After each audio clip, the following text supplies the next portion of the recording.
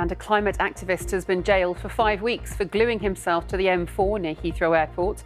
The Insulate Britain protest in October 2021 disrupted thousands of drivers. 63 year old Stephen Pritchard said he'd do it again as a matter of conscience. Three other protesters were given suspended sentences.